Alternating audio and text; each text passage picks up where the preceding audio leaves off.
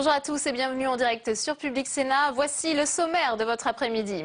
À 16h30, place à la séance avec un texte sur les accords commerciaux entre les États-Unis, le Canada et l'Union européenne. Dans un instant, Saveria Rojek nous expliquera les enjeux de cette résolution présentée par les sénateurs communistes. À 18h15, preuve par trois, l'émission politique de la rédaction de Public Sénat qui reçoit ce soir Jean-Vincent Placé, le président des écologistes ici au Sénat. Et à 19h, 24 heures Sénat, le journal, pour tout savoir de l'actualité politique et parlementaire de ce jour. Le groupe UMP du Sénat réuni en séminaire dans un contexte de mise en cause de la Haute Assemblée. Les sénateurs de la majorité réfléchissent à une réforme de la gouvernance et des méthodes de travail. Si des annonces doivent être faites le 11 mars par Gérard Larcher, le président du Sénat, des pistes sont déjà à l'étude, comme nous l'expliquent Bruno Retailleau et Fabienne Keller, interrogés par Nathalie Guilloire. Il faut vraiment euh, rendre euh, conforme le Sénat que l'on connaît avec l'image qu'en ont les gens. Donc euh, ça passe aussi bien sûr par une modernisation de, l'ensemble de pratiques. Il y aura des propositions et elles seront fortes. Il n'est pas question de n'avoir que des demi-mesures. Des travaux sur la présence, les modalités de travail pour être plus efficaces, sur le déroulé de la séance publique aussi qui est parfois bien longue. Autant de sujets sur lesquels il nous faut faire des propositions concrètes. Les Français l'attendent. Saveria Roget nous a rejoint sur ce plateau. Bonjour Saveria. Bonjour Delphine. Alors je le disais en titre, eh bien, une proposition euh, de résolution est examinée en ce moment même dans l'hémicycle du Sénat à l'initiative des sénateurs communistes. Elle porte sur la signature d'accords commerciaux entre l'Union européenne et les États-Unis. Euh, De quoi s'agit-il Saveria? Alors Delphine, on va reprendre l'histoire au début. L'Union européenne est actuellement, vous l'avez dit, en discussion avec les États-Unis et le Canada pour la signature d'accords commerciaux. Ces accords prévoient un arbitrage en cas de différend entre un État membre de l'Union et un investisseur étranger qui s'estime victime d'une décision prise par cet État. Et c'est précisément ce qui inquiète les sénateurs. Regardez ce qui s'est passé en Australie. En 2011, Philippe Morris porte plainte contre le gouvernement australien après le vote d'une loi obligeant les marques à ne vendre des paquets de cigarettes uniformes. Aujourd'hui, après plusieurs années de procédure, c'est un arbitrage qui doit déterminer si Philippe Morris a été lésé ou non par cette euh, décision et donc si l'État australien doit dédommager la compagnie. Et c'est précisément donc ce qui inquiète les sénateurs, c'est que ce type d'arbitrage pourrait désormais concerner les États membres de l'Union européenne. C'est en tout cas ce que prévoient les accords commerciaux en négociation actuellement. Alors en quoi ce mécanisme d'arbitrage peut-il poser problème Saveria et que proposent les sénateurs pour y remédier? Alors, pour les auteurs de la résolution, ce mécanisme substitue une justice privée à la législation déjà en place des États. En clair, si un médiateur est désigné pour régler un litige entre un acteur privé et un État, ce médiateur aura tous les pouvoirs pour prendre une décision. Il y a donc un risque que cet arbitrage se fasse au détriment des États.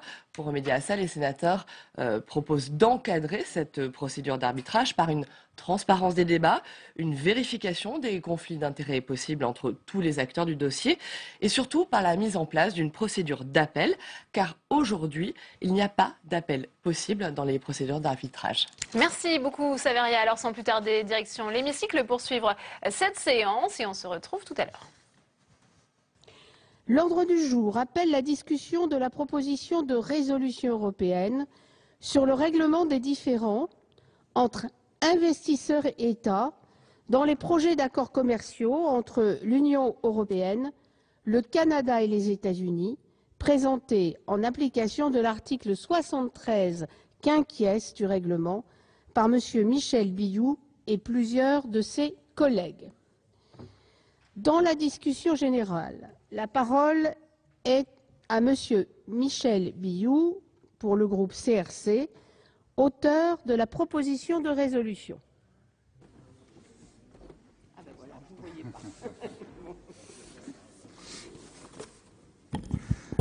Madame la Présidente, Monsieur le Ministre, mes chers collègues, nous sommes donc aujourd'hui invités à débattre de la proposition de résolution européenne numéro 75 sur le règlement des différends entre investisseurs et États dans les projets d'accords commerciaux entre l'Union européenne, le Canada et les États-Unis, que votre commission des affaires européennes, sur la base d'une proposition déposée par mon groupe, a adoptée à l'unanimité après l'avoir amendé le 27 novembre dernier.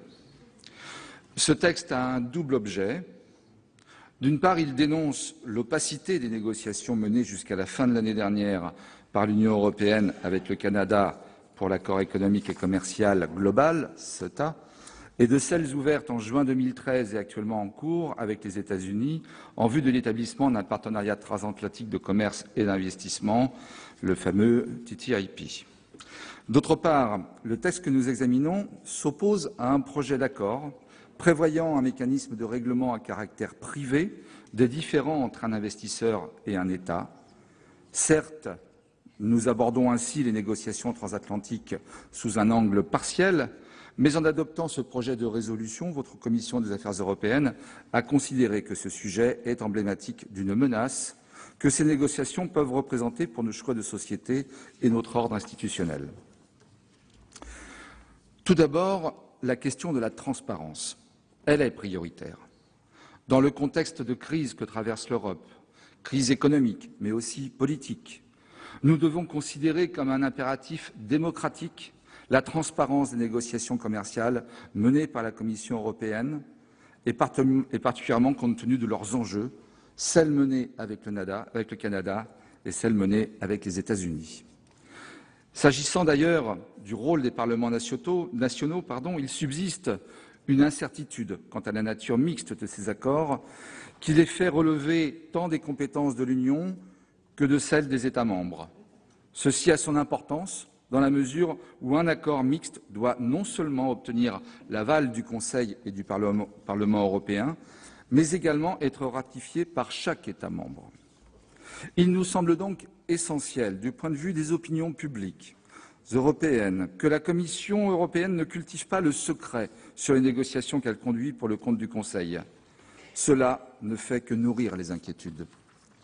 Il est vrai que rien dans les traités ne l'oblige à informer les parlements nationaux, mais ce serait prendre un grand risque politique que de les ignorer jusqu'au moment de la ratification.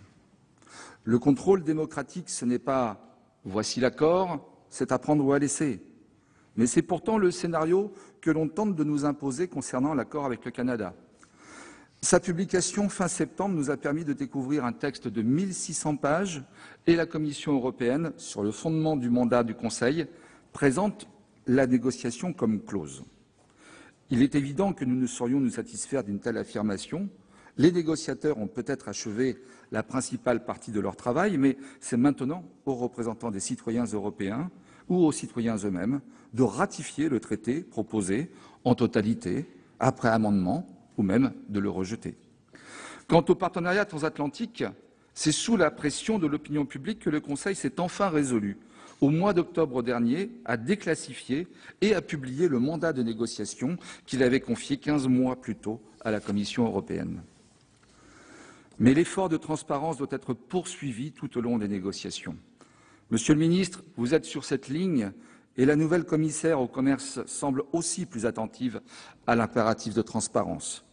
Le 7 janvier dernier, la Commission a ainsi mis en ligne plusieurs textes et règles contraignantes que l'Union européenne souhaite faire figurer dans l'accord de libre-échange. Il faut se féliciter de cette nouvelle démarche, mais les textes américains et même les documents communs européens et américains restent hélas bien confidentiels. D'autres évolutions positives sont d'ailleurs intervenues ces dernières semaines. La Commission s'est ainsi engagée à publier davantage de documents de négociation qu'elle partage déjà avec les États membres et le Parlement européen. Elle donnera de même un accès élargi à tous les députés européens pour ces documents de négociation classifiés UE restreints au sein d'une salle de lecture sécurisée. Elle réduira par ailleurs la quantité de ces documents classifiés afin précisément de les rendre accessibles hors la salle de lecture à tous les eurodéputés. Ces démarches vont dans le bon sens, même si la partie américaine reste extrêmement fermée à la transparence sur ses propres documents de position. Il s'agit donc d'un encouragement à rester ferme sur notre exigence démocratique de transparence des négociations. Monsieur le Président, mes chers collègues, Madame la Présidente, mes chers collègues, pardon, parmi les sujets d'inquiétude qu'alimentent ces négociations, le système de règlement des différends entre investisseurs et États s'est imposé dans l'opinion ces derniers mois. De quoi s'agit-il? C'est un dispositif d'arbitrage privé auquel un investisseur peut recourir si l'État dans lequel il a investi ne respecte pas les règles de protection des investissements fixées dans un traité. Il est inspiré de l'arbitrage commercial auquel recourent les entreprises en cas de contentieux contractuel et qu'elles apprécient pour sa rapidité, sa confidentialité et son autonomie par rapport à la justice nationale de chacune des parties aux différends. Ce mécanisme, que désigne le plus souvent l'acronyme anglais ISDS, accompagne déjà de nombreux accords de protection des investissements. Ainsi, les États membres de l'Union, à l'exception de l'Irlande, sont aujourd'hui partis à 1300 traités incluant ce mécanisme. Notre Parlement lui-même a ratifié près de 100 accords de protection des investissements comportant une telle clause, afin de donner à nos investisseurs les moyens de faire valoir leurs droits dans des pays où l'état de droit est encore fragile. Il s'agit plutôt de pays du Sud, mais nous avons aussi de tels accords avec la Corée, la Chine et même avec certains États d'Europe de l'Est. Ce n'est donc pas une nouveauté, cela peut répondre aux besoins des investisseurs de se couvrir contre le risque de subir de la part de l'État où ils ont investi soit un traitement discriminatoire, soit une expropriation. Dédommager un investisseur victime d'expropriation directe ne fait pas débat, c'est plus délicat en revanche quand il s'agit d'expropriation indirecte, notion très floue qui donne lieu à diverses interprétations selon les arbitres. Avec le développement des investissements directs à l'étranger, le recours au règlement des différences est banalisé. En plus de présenter des défauts en termes de transparence, l'arbitrage d'investissement a donné lieu à des abus retentissants.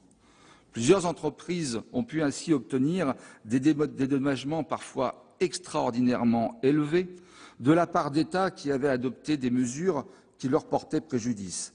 Ainsi, Petroleum a pu gagner 1,7 milliard de dollars contre l'Équateur, soit près de 2% du PIB. L'Australie s'est trouvée mise en cause par Philippe Morris pour avoir choisi de rendre neutres les paquets de cigarettes. L'Allemagne est attaquée pour sa décision de renoncer à l'énergie nucléaire. Et autre exemple français, celui-là, Veolia a engagé un recours contre l'Égypte en 2012 encore en cours, la plainte de Veolia a été déposée au nom du traité d'investissement conclu entre la France et l'Égypte.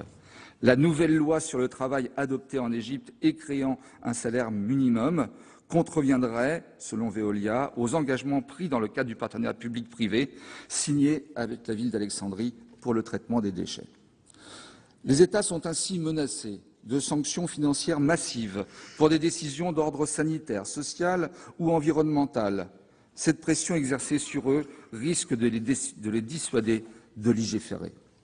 Pourquoi donc inclure un tel dispositif dans les accords CETA et TTIP Nos partenaires d'outre-Atlantique y voient l'occasion d'harmoniser les règles de protection des investissements dans toute l'Union et d'assurer leur mise en œuvre dans tous les États membres, quelle que soit la fiabilité du système judiciaire de chacun de ces États.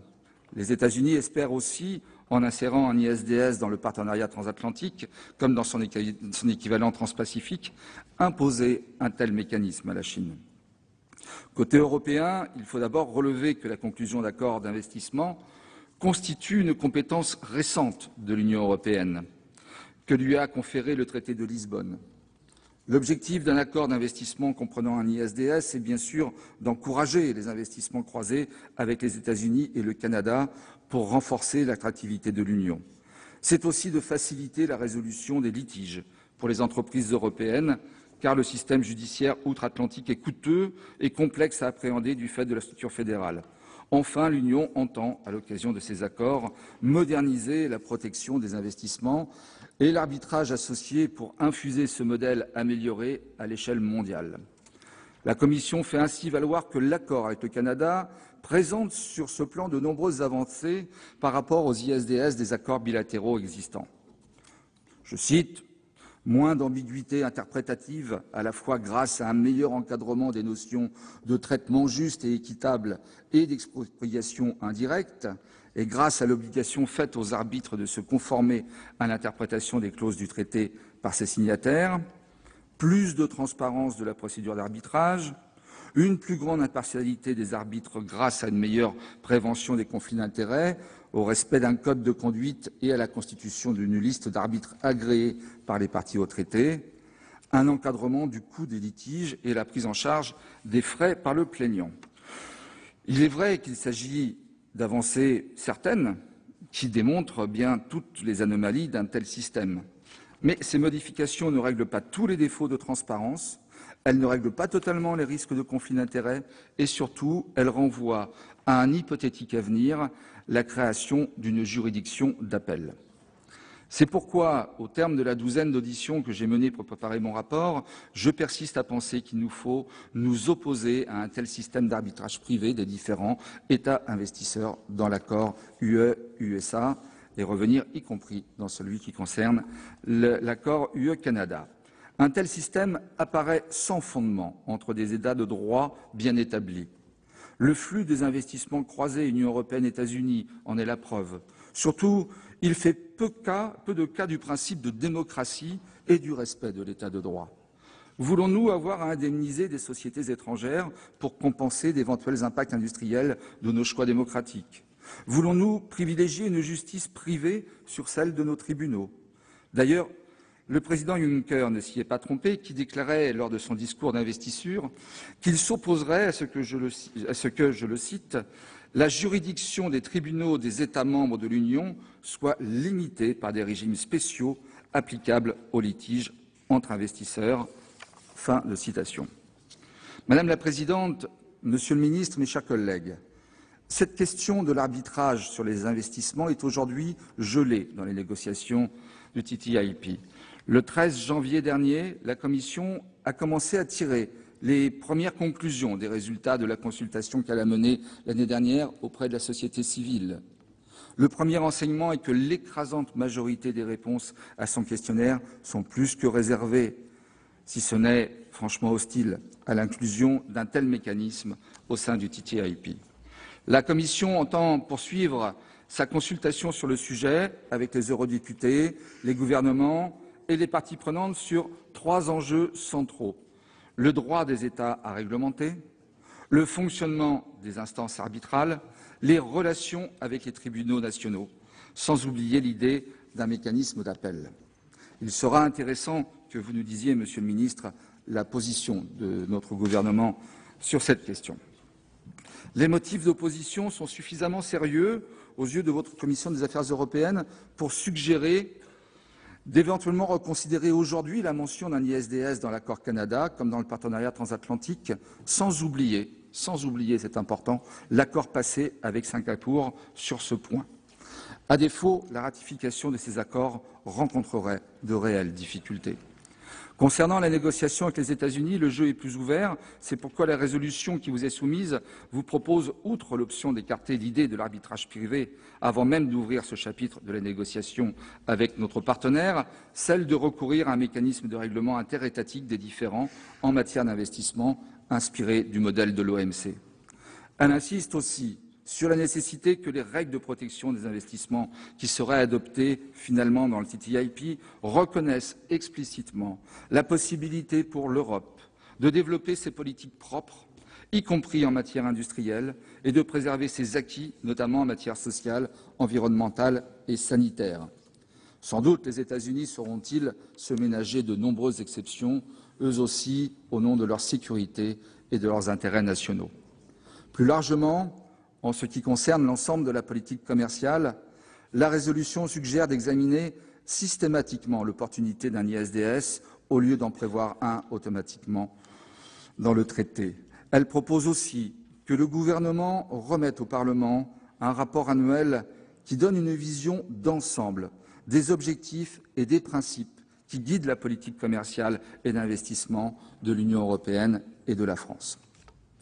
Au bénéfice de ces observations, je vous invite, mes chers collègues, à adopter la proposition de résolution qui vous est soumise. Et je vous remercie de votre attention. Merci, chers collègues. Euh, la parole est à Monsieur Jean-Claude Lenoir, rapporteur de la Commission des affaires économiques.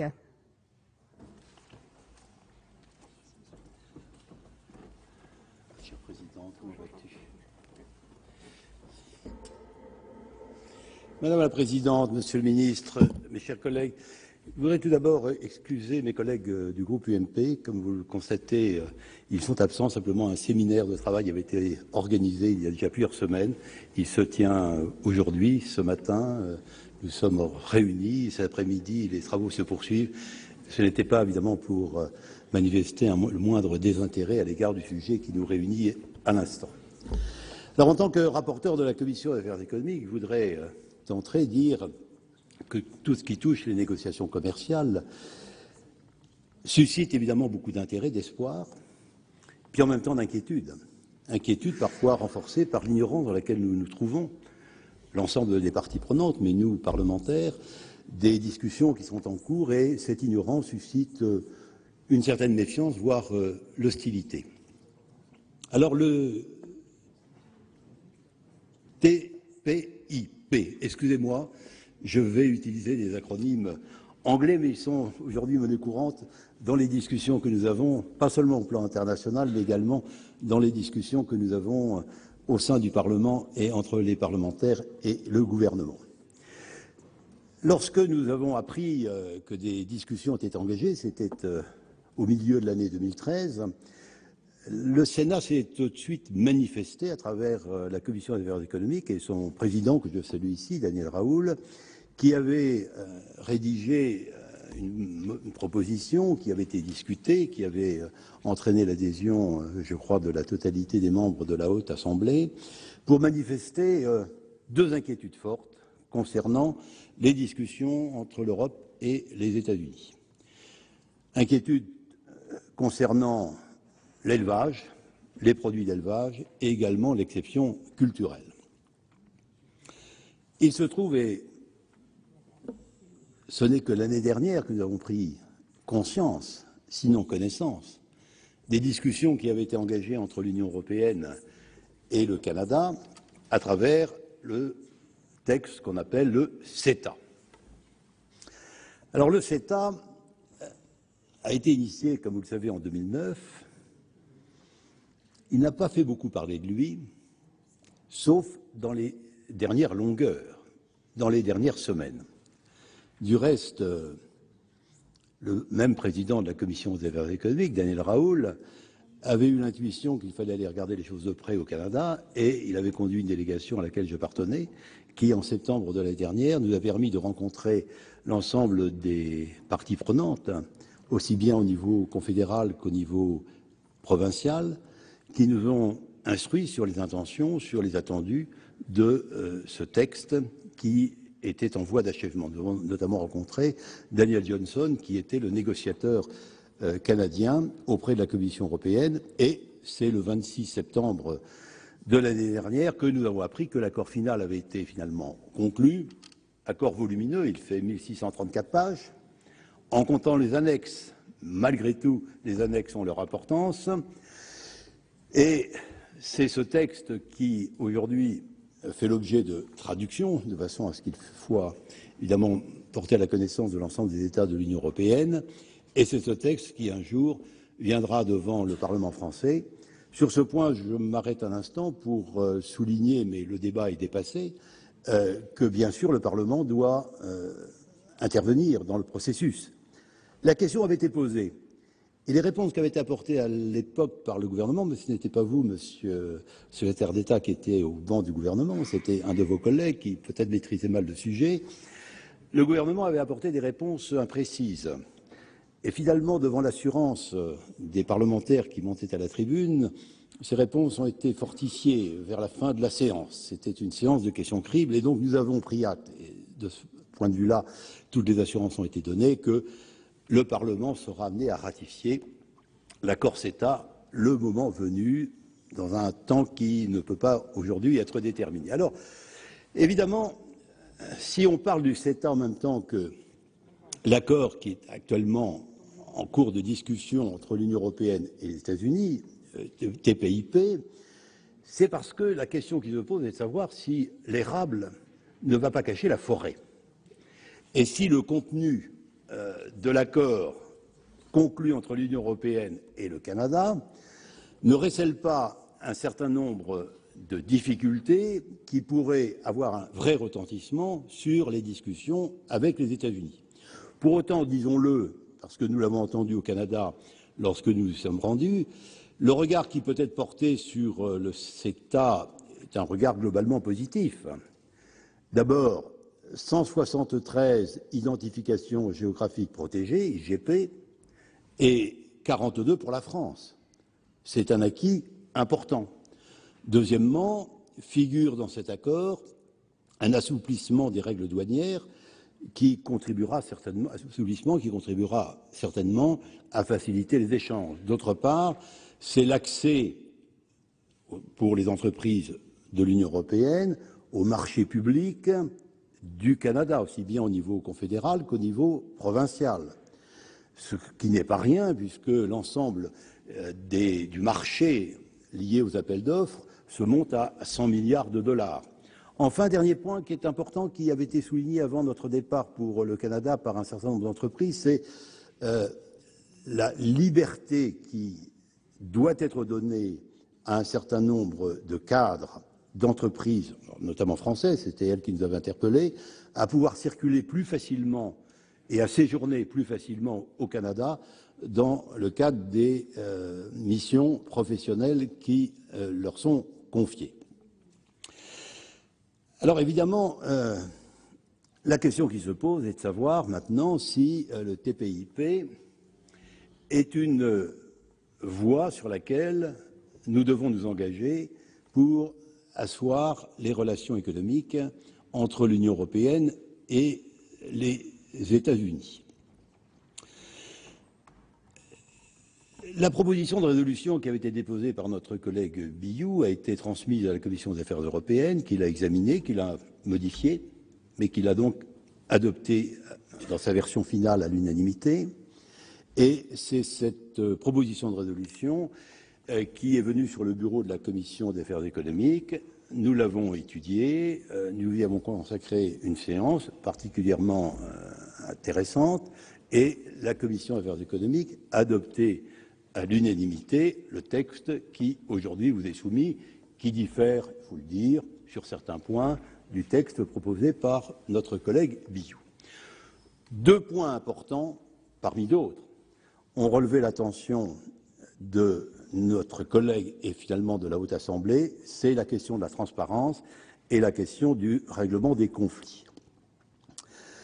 Alors sur la question de, de la transparence, Admettons au départ, c'est une remarque liminaire, que tout ne peut pas être mis sur la table lorsqu'il y a des discussions, lorsqu'il y a des négociations. Il va de soi qu'il y a un certain nombre de points qui ne peuvent pas faire l'objet de la plus large publicité. Pour autant, aujourd'hui, nous le ressentons ainsi, la volonté de transparence s'affiche à tous les niveaux, au niveau européen, au niveau gouvernemental et au niveau de notre Assemblée.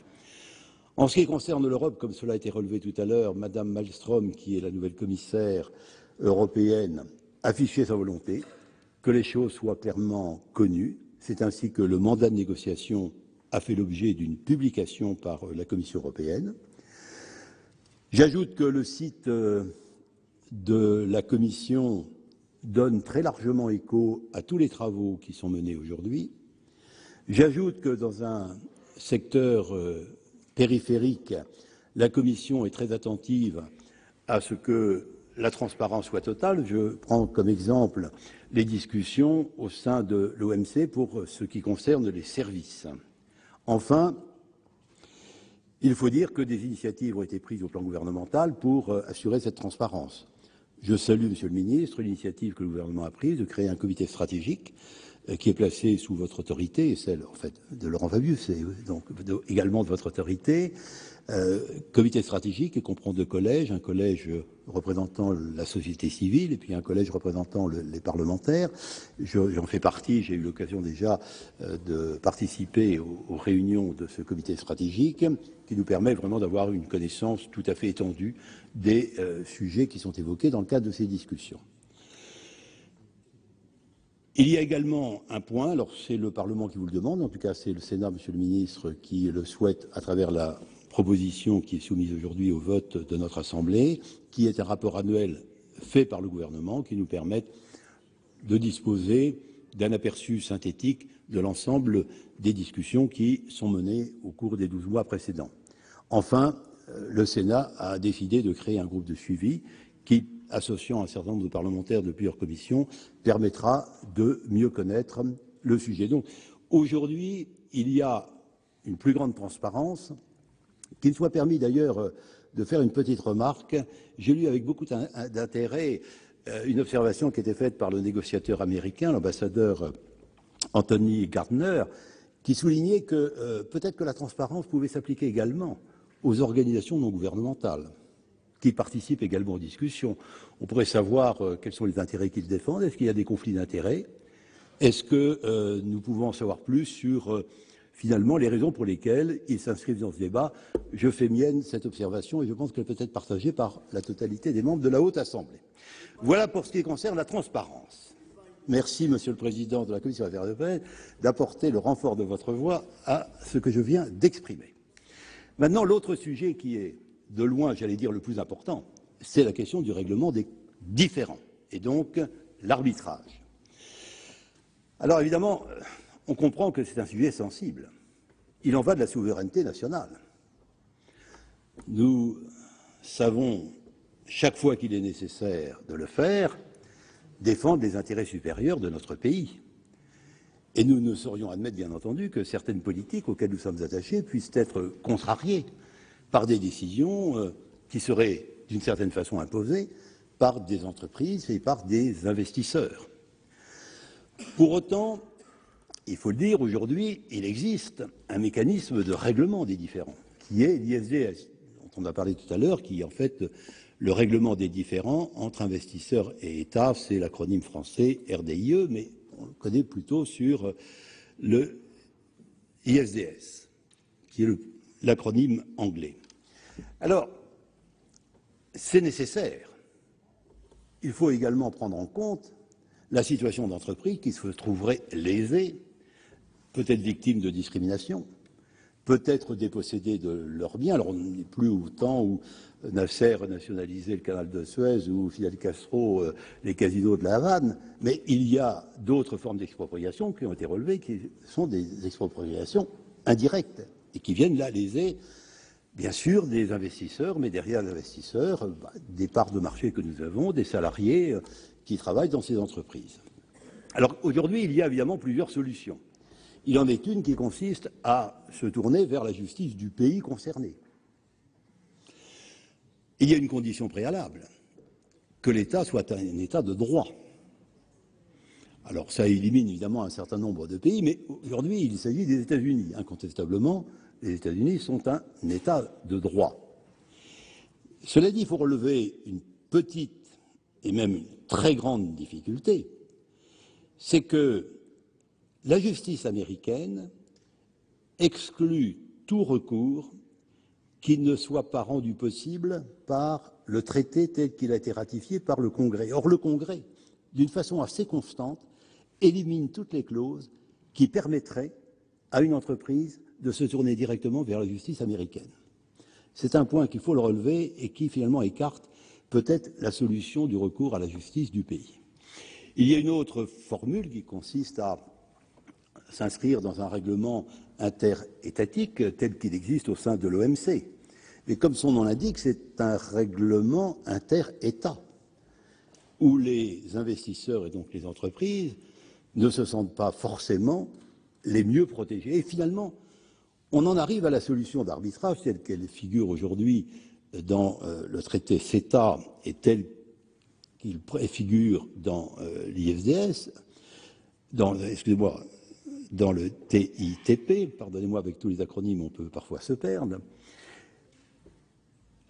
À ce sujet, il faut dire que les formules proposées sont relativement souples. D'autre part, bah, les solutions d'arbitrage, quelles sont-elles? Il y en a plusieurs.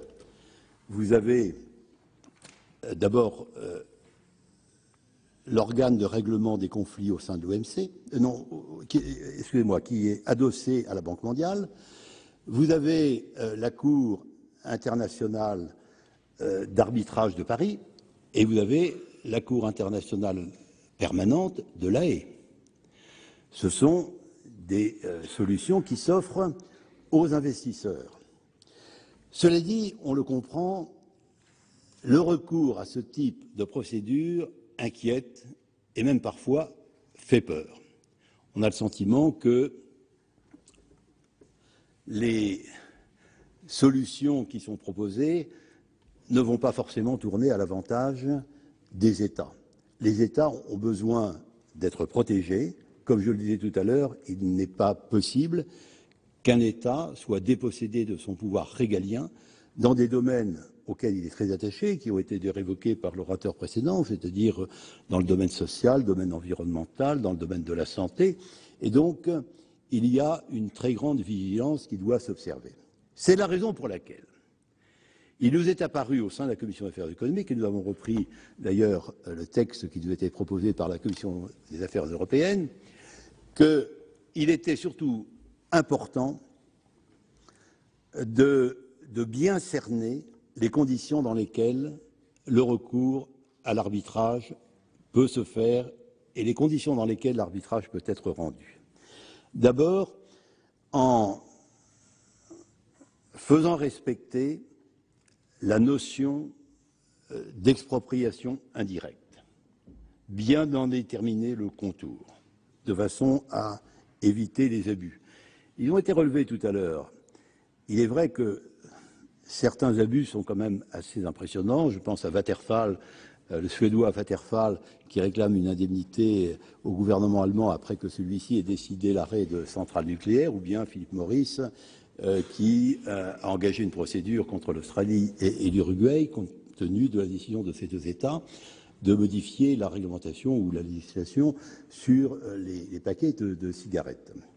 Maintenant, il y a d'autres principes sur lesquels, Monsieur le Ministre, nous attendons de la part du gouvernement des positions très fermes et très claires. Il y a, je le disais tout à l'heure, ce qui concerne l'expropriation indirecte. Il faut également délimiter d'une façon très claire euh, eh bien, les actes qui sont autorisés et ceux qui ne sont pas autorisés, de façon à éviter toute interprétation. Il faut, troisièmement, prévoir des dispositifs répressifs concernant les recours abusifs. Après tout, que un investisseur se tourne vers un arbitre, rien que de plus normal. Mais si ce recours est considéré comme abusif, rien de plus normal que de faire payer celui qui a engagé ce recours, qui, entre nous, pèse en moyenne à peu près 7 millions d'euros, compte tenu des mécanismes qui sont en jeu. Quatrième point, il est important de prévoir une procédure d'appel pour les décisions euh, qui sont prises. Et enfin, dernier point, c'est assurer la plus grande transparence dans l'arbitrage. Et je reviens très brièvement sur ce que je disais tout à l'heure, qui s'appliquait aux ONG. Il est important également de savoir quels sont éventuellement les intérêts des arbitres qui ont été choisis. Voilà, Monsieur le Ministre, les points sur lesquels la Commission des affaires économiques, en écho à ce qu'avait euh, demandé la Commission des affaires européennes, vous demande de vous prononcer au nom du gouvernement. Maintenant, en conclusion, je le dis comme cela a été exprimé à la Commission des affaires économiques. Euh, ces discussions sont importantes, elles sont également prometteuses. Aujourd'hui, la position que nous avons adoptée est une position je dirais, de, sagesse, une position d'équilibre qui ne remet rien en cause, mais qui demande simplement que les intérêts, d'abord de notre État, mais également des entreprises, si elles sont victimes euh, d'agissements euh, qui viennent leur nuire, soient protégés. Mais en même temps, je pense, et faisant écho à ce que je disais d'entrée concernant le Canada, il ne faut pas sous-estimer l'impact positif de ce type de traité. Celui avec le Canada en particulier, je le dis, nous l'avons entendu, nous l'avons vérifié, est certainement source de bénéfices, pas seulement financiers, ils sont également moraux, ils sont également politiques, compte tenu de la qualité des relations que nous avons aujourd'hui entre l'Union européenne et le Canada. Merci pour votre attention. Merci, Monsieur le Président. La parole est à Monsieur Jean Bizet, président de la Commission des Affaires européennes. Alors, mes chers collègues, il est 15h40. Je vous rappelle que se déroule en ce moment le vote. Il reste 20 minutes pour voter pour ceux qui ne l'auraient pas fait. Merci, Monsieur le Président. Excusez-moi. Madame la Présidente, Monsieur le Ministre, mes chers collègues, l'Union européenne et les États-Unis ont engagé il y a un peu plus d'un an et demi des négociations en vue de conclure un accord de libre-échange. Cet accord est destiné, je cite le mandat de négociation, à libéraliser entre les deux parties les échanges de biens et de services et à prévoir des règles applicables aux questions liées au commerce avec un niveau d'ambition élevé, dépassant celui des engagements pris précédemment dans le cadre de l'Organisation mondiale du commerce. Fin de citation. La Commission des affaires européennes s'était saisie du mandat de négociation sur le rapport de Simon Sutour et avait formulé diverses observations. La dynamique initiée par décision d'engager ces négociations commerciales s'est facilement appuyée sur l'impact positif attendu d'un tel accord en termes de croissance et d'emploi des deux côtés de l'Atlantique, et Dieu sait si aujourd'hui nous avons besoin de cela. Cela concerne en particulier les PME, explicitement mentionnées comme cible prioritaire. Mais 19 mois et cette session de négociation plus tard, les choses ont bien peu progressé. Sur le fond, les positions respectives restent très éloignées. Le blocage porte en particulier sur des questions lourdes. C'est notamment l'accès des Européens au marché public américain, qu'ils soient fédéraux ou subfédéraux, la coopération réglementaire sur les services financiers ou encore le travail de convergence réglementaire, élément essentiel de la facilitation des échanges. Et j'aurais garde d'oublier les risques qui peuvent peser sur nos préférences collectives européennes, notamment sur les questions agricoles, les indications géographiques ou sur nos priorités sanitaires et phytosanitaires. Notre collègue, le président de la Commission des affaires économiques, Jean-Claude Lenoir, l'a clairement évoqué. Et c'est vrai, pour avoir eu l'occasion d'un échange la semaine dernière avec Pascal Lamy, nous sommes, si vous voulez, en face d'une négociation totalement différente à celle des négociations antérieures, puisque ça ne porte plus sur des questions, je dirais, de tarifaires, des questions de droits de douane, mais sur des questions d'harmonisation, d'homologation euh, de normes qui sont vécues et appréhendées de façon très différente de part et d'autre de l'Atlantique. Les choses ont donc euh, peu avancé sur le fond jusqu'à présent, mais chacun des partenaires à tous les niveaux s'accorde à vouloir faire de 2015 une année charnière et l'occasion d'un nouveau départ. En effet, une fois passée la reconstitution post-électorale des institutions européennes et le nouveau paysage politique parlementaire américain clarifié, une nouvelle dynamique est possible et nécessaire.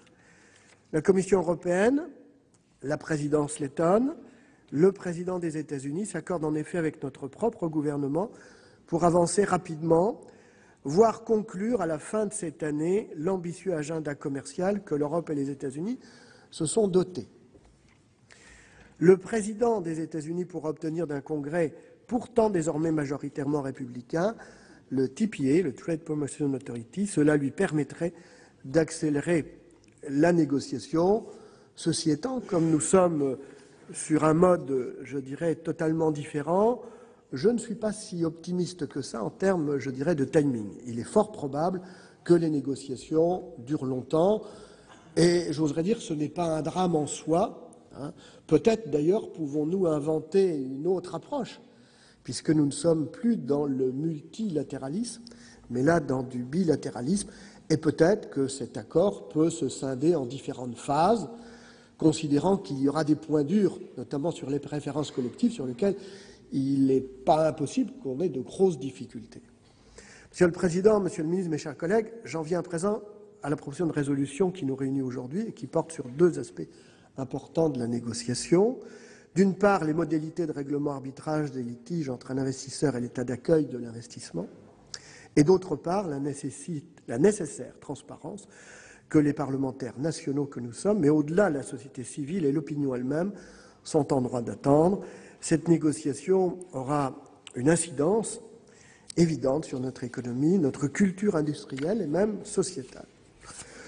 L'auteur de cette proposition de résolution est également rapporteur devant notre commission des affaires européennes, notre excellent collègue Michel Billou, a très clairement posé les termes du débat. Il a exprimé la légitime préoccupation qui peut résulter de l'expérience d'un certain type d'arbitrage privé, État, investisseurs et de ses dérives potentielles. Je ne reviendrai pas sur le détail des interrogations et préconisations que Michel Billou a soulevées à l'instant. Le projet de résolution qui vous est soumis les résume très fidèlement. Je me bornerai, Monsieur le Ministre, à solliciter de votre part sur ce point une précision. Monsieur Billou a évoqué l'accord de libre-échange dénommé CETA, conclu il y a peu entre l'Union européenne et le Canada. La réserve d'examen posée par la France sur ce chapitre de l'accord commercial avec le Canada permettra-t-elle d'amender significativement, voire de laisser de côté, le dispositif ISDS qui y figure?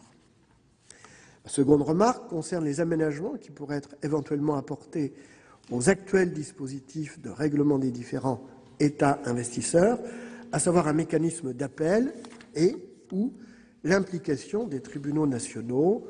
Pourtant, ces éléments figurent déjà dans la partie du mandat de négociation concernant la protection des investissements. Je le cite il conviendra d'envisager la création d'un mécanisme d'appel applicable au règlement des différends entre les investisseurs et l'État au titre de l'accord et d'étudier la relation qu'il convient d'établir entre le RDIE et les voies de recours interne. Fin de citation. Je rejoins donc là, Monsieur le Ministre, l'interrogation de Michel Billou pour vous demander ce que vous souhaiteriez voir la Commission proposer sur ce sujet du règlement des litiges État-investisseurs sachant, cela a été dit, que les résultats de l'enquête conduite par la Commission européenne sont très, sont très négatifs.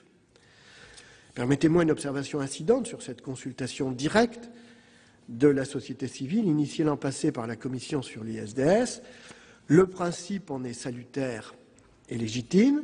Il semble toutefois en l'espèce que le procédé de réponse prédéfini via des plateformes en ligne peut questionner sur des détournements qui peuvent fragiliser une démarche participative pourtant essentielle dans le fonctionnement de l'Union européenne. J'en reviens à l'arbitrage privé État-investisseur. Interrogé récemment sur le sujet, M. Timmermans, vice-président de la Commission européenne, a une approche plus qu'ambiguë. Il estime d'un côté qu'un tel dispositif pourrait être un instrument utile dans le cadre du TTIP et qu'il ne faut pas rejeter d'emblée ce mécanisme qui pourrait être bénéfique pour les citoyens européens. Mais il reconnaît cependant que l'ISDS ne constitue pas une nécessité absolue, en particulier si cela conduit à ne pas respecter les droits des citoyens. Monsieur Timmermans sera précisément à Paris le 17 février prochain. J'invite tous les membres de la Commission des affaires, européennes à participer je dirais, à cette audition qui aura lieu à l'Assemblée nationale, on pourra à nouveau lui reposer cette question pour savoir quelle est véritablement sa position compte tenu de l'évolution des discussions sur ce sujet précis. Et quand on entend ce qui a été rappelé tout à l'heure par notre collègue Michel Billot au travers des propos qu'il a rapportés du président Juncker. Donc on voudrait voir un petit peu l'évolution de la Commission sur ce point. Je terminerai, mes chers collègues, avec le second objet de cette résolution, la transparence des négociations en cours. Ma première observation a trait au comité de suivi stratégique que vous avez mis en place, Monsieur le Ministre, pour associer membres de la société civile, ONG, associations et bien évidemment parlementaires. C'est une démarche dont nous savons gré et qui correspond à l'importance de l'enjeu. J'ai la conviction que l'ignorance est en ces domaines la pire conseillère et l'ouverture et la transparence les alliés du progrès. C'est une initiative à laquelle d'ailleurs notre Assemblée va faire écho notre commission économique et celle des affaires européennes ont créé un groupe de suivi conjoint des négociations. Je m'en réjouis grandement. Je, fais, je sais votre disponibilité pour travailler avec ce groupe et nous en sommes par avance reconnaissants. Ma seconde observation concerne ce qui est à mes yeux l'un des aspects éminents de la transparence, à savoir l'implication souhaitable des parlements nationaux lors de la phase de ratification de l'accord.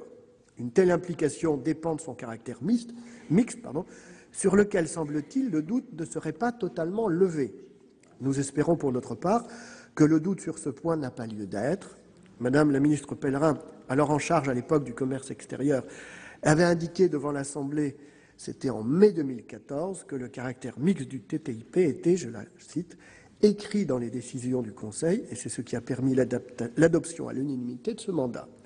Ce caractère mixte a été une condition de l'adoption de ce mandat. Il n'y a aucun doute sur le fait que cet accord est mixte.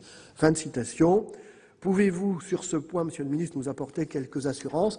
C'est encore des interrogations que l'on entend ici ou là au travers, je dirais, des inquiétudes des socioprofessionnels. Monsieur le Ministre, Madame la Présidente, mes chers collègues, cette proposition de résolution représente la première manifestation concrète, équilibrée et argumentée de cette attention inquiète que les parlementaires, comme une partie de l'opinion, portent sur le projet d'accord de libre-échange entre l'Union européenne et les États-Unis. Cela ne doit pas occulter les opportunités réelles que cet accord porte potentiellement en lui, comme l'a souligné tout à l'heure Jean-Claude Lenoir, qu'il s'agisse de la croissance et des emplois qui en sont attendus. La vigilance des États membres, gouvernements et parlements nationaux, aura à s'exercer en concertation étroite avec la Commission, qui seule négocie. N'oublions pas cette architecture. En particulier, plus la transparence de la part de la Commission deviendra la règle, plus la confiance de l'opinion pourra se renforcer. Je vous propose donc d'adopter la, résolution qui vous est soumise et qui va précisément dans le bon sens. Je vous remercie. Merci, Monsieur le Président. Euh, monsieur, monsieur, Mathias secrétaire d'État chargé du commerce extérieur, de la promotion du tourisme et des Français de l'étranger, a maintenant la parole.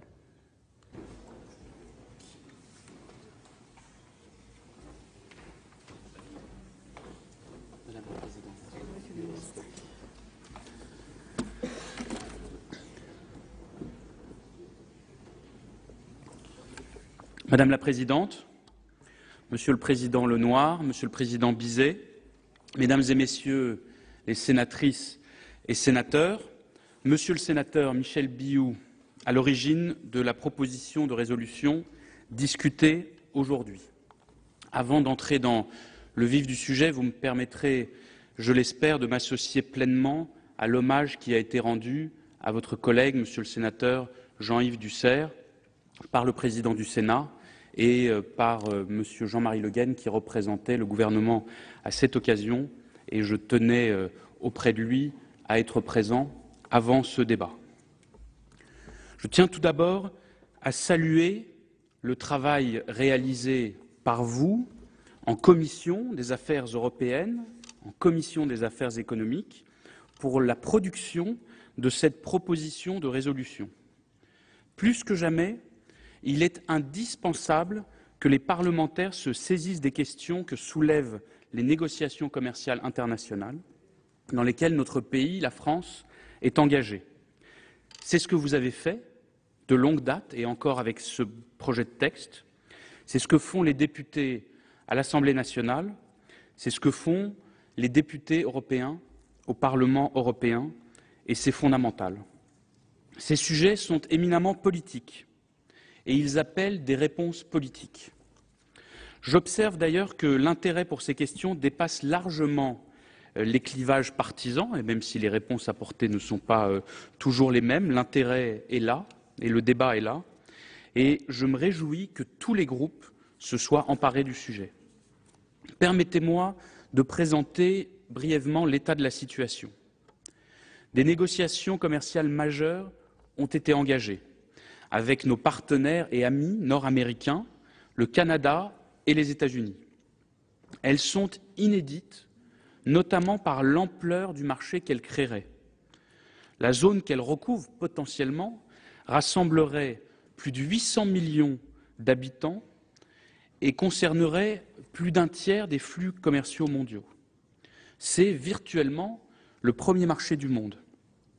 Nos interlocuteurs, canadiens d'une part, euh, américains, états-uniens d'autre part, sont des partenaires commerciaux de premier rang pour notre pays. Nos économies sont étroitement liées, aujourd'hui déjà, et les systèmes juridiques de ces pays, fondés en partie sur la common law, sont très différents des nôtres. Pour toutes ces raisons, les enjeux sont donc considérables. Stratégiquement, il s'agit de s'assurer que l'Europe pourra, à l'avenir, comme aujourd'hui, tenir son rang, défendre ses valeurs et ses intérêts dans la définition des normes mondiales. Être écarté des lieux de décision en matière de fixation de normes nous condamnerait à terme à devoir subir, directement ou indirectement, les normes élaborées et voulues par d'autres. Et nous ne pouvons pas l'accepter. Économiquement, ces négociations n'ont de sens que si elles aboutissent à des accords équilibrés, ambitieux, efficaces, favorables à la croissance et à l'emploi. Enfin, en ce qui concerne l'état d'avancement des négociations, vous le savez, les négociations avec le Canada ont été officiellement conclues le 26 septembre de l'année dernière, et cela a été proclamé au sommet UE-Canada. Cet accord est entré à présent dans une phase que l'on appelle une phase de toilettage juridique et technique avant de pouvoir être présenté à ratification. Je veux le dire de manière très claire, tant que le processus de ratification n'est pas engagé sur la base d'un texte consolidé, les choses ne sont pas figées. Et plusieurs orateurs ont rappelé avant moi euh, qu'il y aurait, sans cela, un vrai problème de contrôle démocratique. Monsieur le sénateur Biou, euh, notamment, vous l'avez évoqué. Quant aux États-Unis, les négociations avec nos partenaires et amis américains dans le cadre du partenariat transatlantique sont loin d'être terminées. Une huitième série de négociations a débuté cette semaine et de très nombreux sujets restent sur la table, la plupart des sujets en réalité, puisqu'il n'y a pas eu, c'est euh, une analyse convergente de part et d'autre, d'avancées politiques significatives au cours de ces négociations. En France, partout en Europe, mais aussi ailleurs, s'élèvent des voix pour remettre en cause les négociations commerciales transatlantiques, et notamment ce qu'il est convenu d'appeler le mécanisme d'arbitrage des différends entre investisseurs et États. Ce chapitre des négociations, pendant très longtemps réservé à des spécialistes, est devenu le cœur de débats virulents auxquels participent les parlementaires, les citoyens, la société civile, à travers notamment de nombreuses associations. C'est un phénomène de fond très important et nous y sommes tous attentifs. J'y vois pour ma part l'expression d'un besoin de démocratie dans des matières dont les peuples, pourtant concernés au premier chef, ont trop longtemps été tenus à distance. J'ai la conviction, et j'ai toujours été très attentif à la question démocratique. Comme citoyen, comme parlementaire, aujourd'hui comme membre du gouvernement, je sais que vous y êtes très attentif aussi et euh, nous devons le rester. À cet égard, le projet de résolution sur lequel vous êtes invité à vous prononcer aujourd'hui insiste à juste titre sur la nécessité d'associer pleinement et très étroitement les représentants des citoyens démocratiquement élus aux négociations. Rien ne peut justifier l'opacité. Les négociations commerciales internationales ne peuvent plus rester une affaire réservée aux experts et aux professionnels. Certaines inquiétudes peuvent sembler disproportionnées, certains jugements discutables, mais les questions de fond méritent toujours de vrais débats démocratiques et une transparence maximale. Mesdames et Messieurs les sénatrices et sénateurs, vous réclamez davantage de transparence. Je souscris pleinement à cette exigence. Dès mon entrée en fonction, j'ai demandé, j'ai réitéré la demande de déclassification du mandat de négociation. Mes prédécesseurs l'avaient fait avant moi et je salue en particulier Madame Brick, euh, ici présente euh, dans l'hémicycle, qui euh, s'était pleinement impliquée sur cette question. La déclassification, c'est aujourd'hui chose faite. Depuis le mois d'octobre dernier, grâce à nos efforts répétés, les efforts de la France, les efforts, de, nombreux partenaires européens en lien avec la présidence italienne du second semestre 2014. Cette déclassification ne doit pas être une fin. Elle doit être au contraire un début, le début d'un agenda de la transparence robuste, ambitieux et exigeant. Le Parlement, le législateur national doit pouvoir bénéficier d'un accès réel aux documents, surtout dans le cas d'un accord mixte. Et j'en profite pour répondre, messieurs euh, les sénateurs qui m'ont précédé, à vos interrogations pour vous confirmer l'analyse du gouvernement français. Notre analyse est bien qu'il s'agit d'un accord mixte pour les deux accords, l'accord avec le Canada, l'accord futur accord possible avec les États-Unis euh, d'Amérique, ce qui signifie bien qu'il y aura une ratification au niveau européen comme au niveau national avec les parlements qui seront amenés à se prononcer et à prendre la décision. J'ajoute que cette analyse est convergente avec l'analyse de l'ensemble des États membres de l'Union européenne et avec l'analyse du Conseil.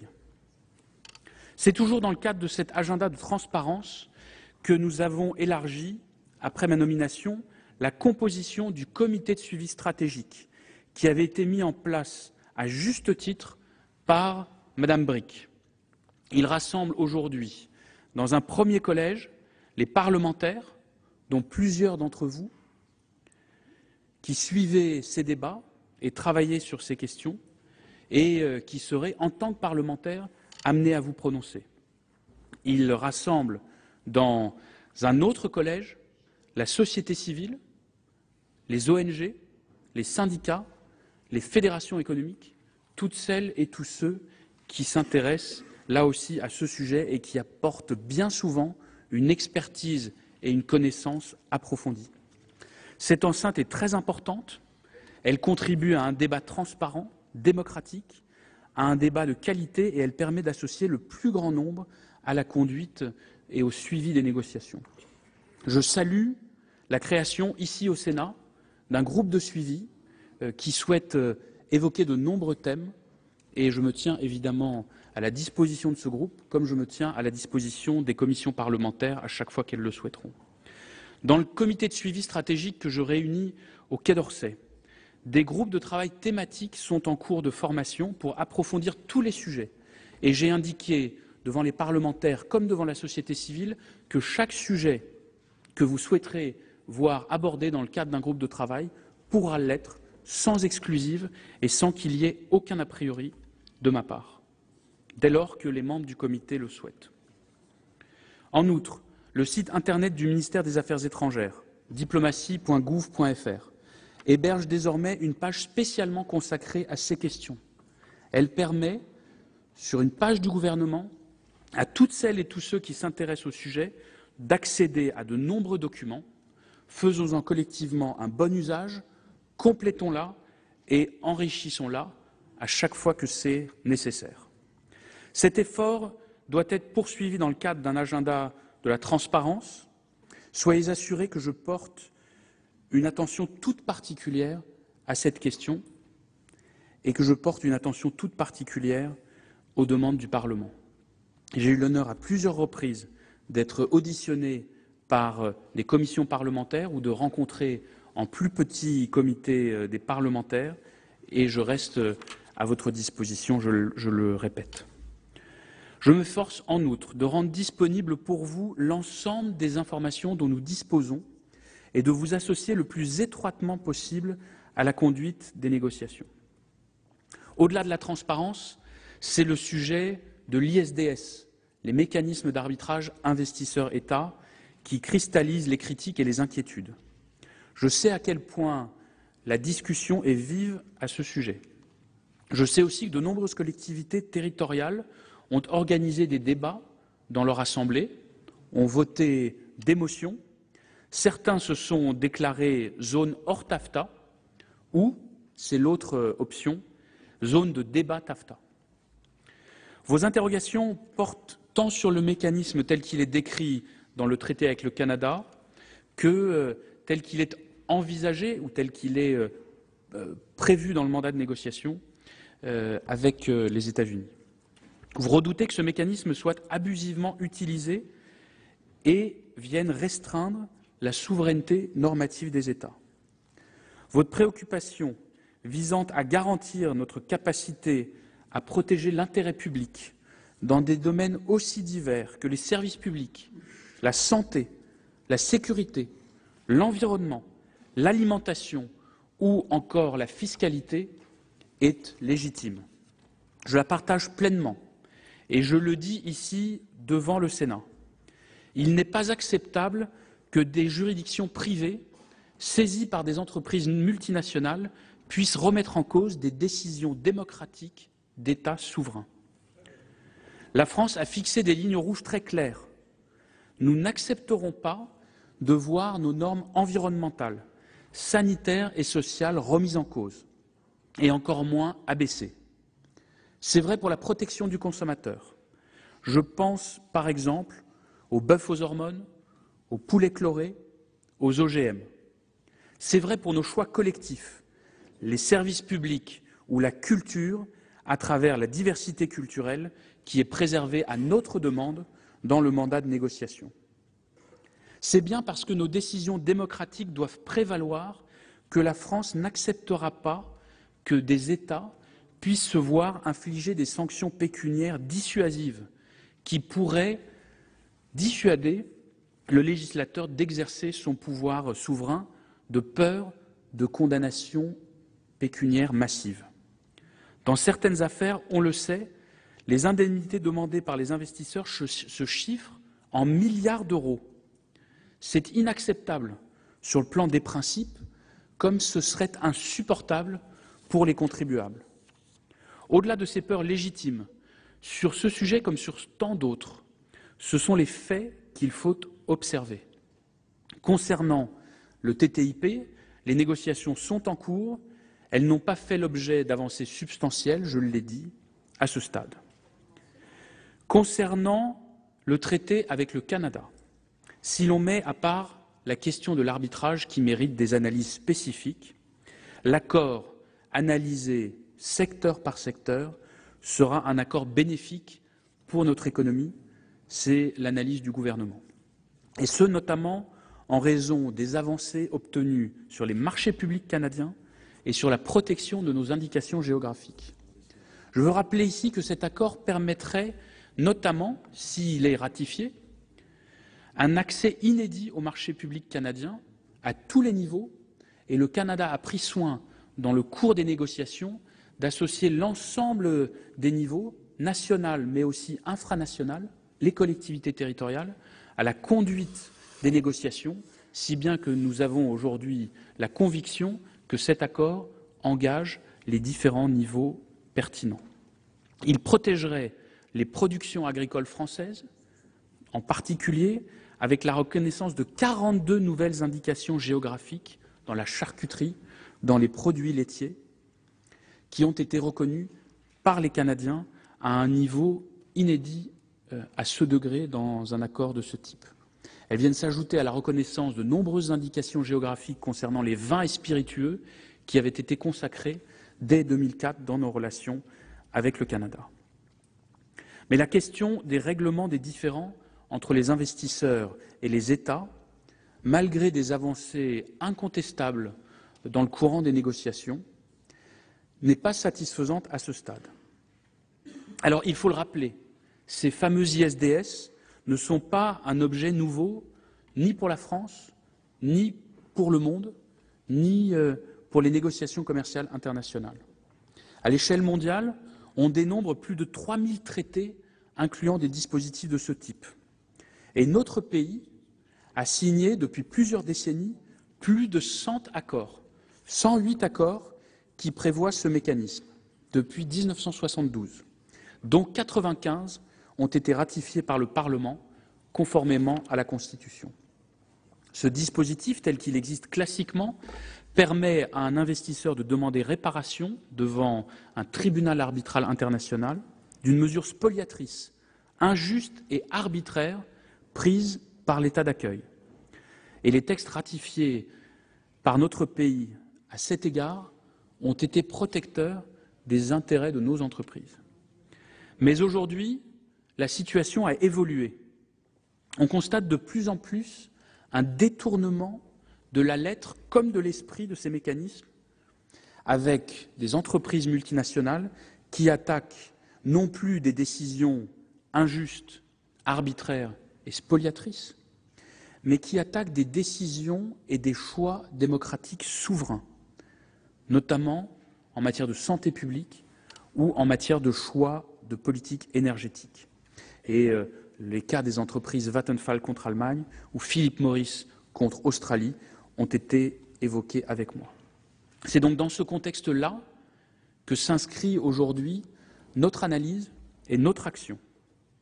Je suis engagé depuis ma prise de fonction, comme l'étaient mes prédécesseurs, pour que nous n'acceptions pas un dispositif simplement par routine, parce que les négociations avancent et que, que voulez-vous, le texte est là, il faut donc le ratifier.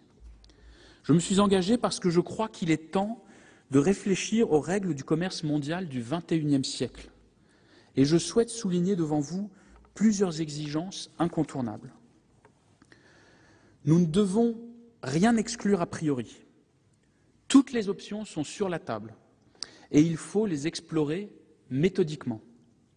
Votre résolution envisage deux options plus particulièrement. Elles sont intéressantes et elles sont judicieuses. Mais il y en a d'autres aussi. Et c'est la seule nuance que je souhaite apporter par rapport à votre proposition de texte. Nous sommes totalement d'accord sur l'esprit et totalement d'accord sur le fond, mais le gouvernement souhaite étudier toutes les options, je dis bien toutes les options, dans le cadre des débats et des négociations qui sont devant nous. Et c'est la seule raison qui euh, m'amènera à euh, proposer euh, la sagesse au moment du vote. La première exigence est celle que vous soulignez avec force dans votre projet de résolution, c'est le droit des États à réguler. Il faut être lucide. Des progrès ont été faits dans les négociations de l'accord canadien. Et il faut euh, apprécier ces avancées à leur juste valeur. Mais elles sont encore insuffisantes aujourd'hui. Notamment, et cela a été soulevé avant moi aussi, de quelle définition exacte de la notion d'attente légitime des investisseurs dispose-t-on? Quelle est la marge d'interprétation des arbitres lorsqu'il est question de traitement juste et équitable des entreprises? La jurisprudence sur ce sujet est parfois sujette à variation et en tout état de cause, elle est insuffisamment prévisible. Et il faut donc renforcer substantiellement les protections des intérêts des États. La deuxième exigence fondamentale est celle de la déontologie. J'ai consulté largement autour de moi sur ce sujet, je sais que vous l'avez fait aussi, y compris des praticiens de l'arbitrage, notamment sur la place de Paris, qui bénéficie d'une renommée forte en cette matière comme dans d'autres. Et tous, ou nombreux en tout cas, sont ceux qui tombent d'accord sur un point. La situation actuelle n'est pas acceptable. Les règles encadrant les activités des arbitres internationaux en matière d'investissement sont totalement insuffisantes. Dans quelle juridiction en France accepterait-on que le juge puisse être quelques mois plus tard l'avocat du plaignant dans une autre affaire? Dans aucune. La troisième exigence est d'ordre procédural. Vous le savez, le droit public français reconnaît la faculté de faire appel, et c'est un principe général de notre droit. Les sentences arbitrales, quant à elles, ne sont pas susceptibles de recours. Ce n'est pas acceptable. La création d'un mécanisme de recours ou d'appel est donc indispensable. Ce n'est pas une démarche simple, car nous sommes liés par des conventions internationales qui rendent cet exercice juridiquement complexe, mais c'est nécessaire. Et il existe des possibilités que nous analysons et que nous expertisons. Et je le répète devant vous, les juridictions publiques nationales doivent avoir toute leur place dans les procédures. Ce sont des pistes sur lesquelles nous sommes en train de travailler. J'ajoute que les éléments que je livre devant vous suscitent l'attention en France, bien sûr, mais aussi dans toute l'Europe, et parfois au-delà. Je salue à cet égard l'initiative de la Commission européenne qui a mené une vaste consultation publique sur le mécanisme d'ISDS dans le traité transatlantique, dont les résultats ont été restitués le 13 janvier dernier. Près de 150 000 réponses, dont près de 10 000 venant de France, ont été recueillies. Une majorité d'entre elles environ 145 000, étaient des réponses de citoyens envoyées par l'intermédiaire de plateformes Internet. Elles témoignent de l'intérêt collectif pour euh, cette question des mécanismes d'arbitrage. Parmi les autres réponses, un grand nombre ont émané d'organisations représentant la société civile dans toute sa diversité. Elles permettent d'éclairer le débat et elles sont précieuses. Dans l'histoire de l'Union, cette consultation a recueilli le nombre le plus élevé de contributions. Comment, dès lors, les ignorer Et comment ne pas prendre en compte les réserves très fortes, c'est le moins que l'on puisse dire, sur euh, l'ISDS Ce serait un déni de démocratie dont nous sortirions euh, tous affaiblis. Il est de notre responsabilité d'en tirer les conclusions et d'apporter des réponses constructives. La Commission a identifié quatre pistes de réflexion la protection du droit des États à réguler, la transparence et la déontologie des arbitres, l'articulation entre les instances arbitrales et les juridictions nationales, et la création d'un mécanisme d'appel. Et on le voit, je l'ai toujours pensé, mais c'est confirmé aujourd'hui, la période est favorable au niveau européen pour progresser ensemble sur des solutions d'avenir. La publication de ce rapport ouvre une nouvelle étape. Nous étions un certain nombre à attendre, bien sûr, les résultats de cette consultation, car la moindre des choses, quand une consultation est lancée, est d'en attendre la restitution et de savoir quelles sont les attentes citoyennes qui s'y sont exprimées. Cette étape-là est désormais derrière nous et une nouvelle étape d'analyse et d'action s'ouvre désormais.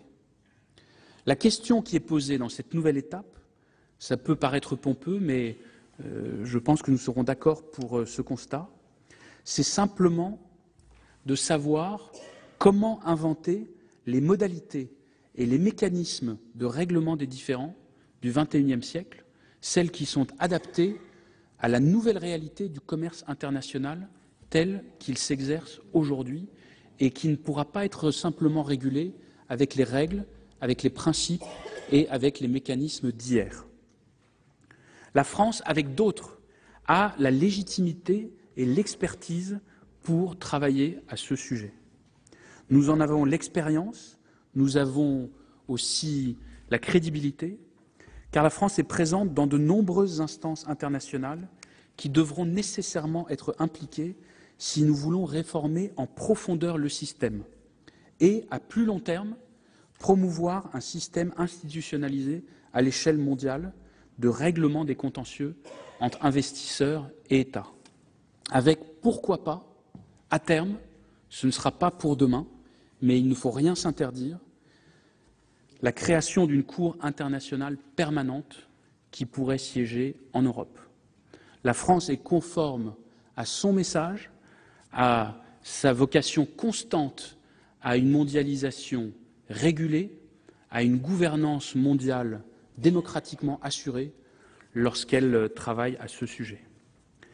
Notre légitimité, l'expérience de la France doivent être utilisées bien sûr de concert avec nos partenaires européens. C'est le cas. C'est dans ce sens que je me suis rendu il y a deux semaines à Berlin, au lendemain de la publication du rapport de la Commission, pour m'entretenir avec M. Zigmar Gabriel, le ministre fédéral de l'économie et de l'énergie, et M. Matthias Machnik, mon homologue, secrétaire d'État en charge des questions commerciales. Nos échanges nous ont conduits à mettre en place une démarche ouverte à tous les États membres de l'Union qui le souhaitent et qui auront la volonté d'étudier avec nous toutes les options pour préserver les intérêts des États et des peuples. Aujourd'hui s'ouvre donc une phase de construction dans laquelle le gouvernement est pleinement engagé et les parlements le sont aussi. Je tiens à rappeler enfin que nous ne sommes pas tenus d'intégrer de manière automatique de tels mécanismes dans les accords commerciaux internationaux, et vous en faites état dans votre projet de résolution. Et il faut souligner que d'autres États, y compris dans des négociations très sérieuses avec nos amis les États-Unis, ont fait d'autres choix, et on peut penser, par exemple, à l'Australie, qui, euh, dans euh, ses traités, n'a pas eu recours à un tel mécanisme. Et donc quand la France dit que toutes les options sont sur la table, c'est bien parce que toutes les options doivent être posées. En cohérence avec la déclaration commune franco-allemande Et avec mon déplacement à Berlin, les échanges se sont poursuivis et se poursuivent avec de nombreux partenaires européens. Mesdames et Messieurs les sénateurs, dans ce contexte, le projet de résolution aujourd'hui en discussion est pleinement en phase avec l'appréciation du gouvernement. Vous demandez un renforcement de la transparence, une association renforcée du Parlement, un contrôle démocratique effectif et l'invention de nouveaux mécanismes de règlement des différends entre les investisseurs et les États. Nous partageons ce même état d'esprit et la même détermination pour avancer. Je vous remercie. Merci, Monsieur le Ministre. Mes chers collègues, je vous indique que les deux scrutins pour l'élection d'un membre titulaire et d'un membre suppléant représentant la France à l'Assemblée parlementaire du Conseil de l'Europe a été clos à 16 heures. Dans la suite de la discussion générale, la parole est pour le groupe UDI-UC à Monsieur Claude Kern pour huit minutes.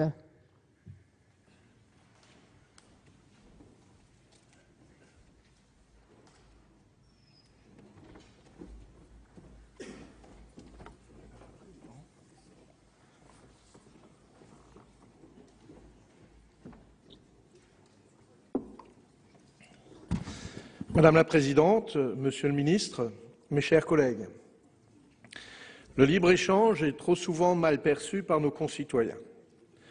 Entendu le plus souvent comme un synonyme de néolibéralisme ou d'ultralibéralisme, le libre-échange fait peur et sa réputation sulfureuse charrie tout un lot de craintes. Déréglementation, dumping, concurrence déloyale et j'en passe. Toutes ces craintes ne sont pas infondées.